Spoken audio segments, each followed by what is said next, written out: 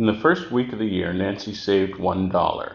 In each of the next 51 weeks, she saved $1 more than she had saved in the previous week.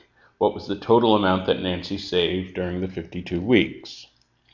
So in the first week, she saved $1.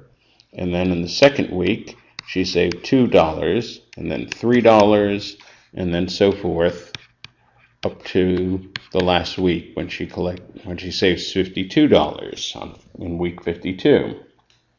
So basically the question is just asking us to add up the numbers from 1 to 52. And in order to do this, we're going to use this wonderful trick that the great mathematician Carl Gauss discovered when he was 5 years old. What we're going to do is we're going to pair the numbers in an unusual way. We're going to take the first and the last. Notice that the first and the last, that pair adds up to 53. Well, then if I pair the next at each end, 2 and 51, that also adds up to 53. And in fact, I could pair them all, and they're all going to be pairs adding up to 53. Well, then the question is, how many pairs do I have? Well, of course, half of 52, 26 pairs.